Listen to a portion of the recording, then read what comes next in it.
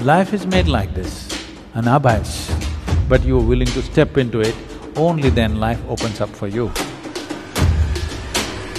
When you transcend certain limitations and you go into another area of life, there are other kinds of forces which will try to stop you. That is my business. Those yogis were referred to as Chakreshwaras, total mastery over all the seven dimensions. Snake. This is one creature where its life energy is not individual, it is universal to its whole clan. Certain nadis in the system, that if you activate them, you will be ecstatic.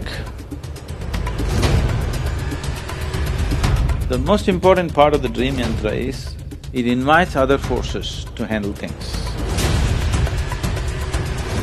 The tantra of making the self free, the most significant thing is that you can deliver a god.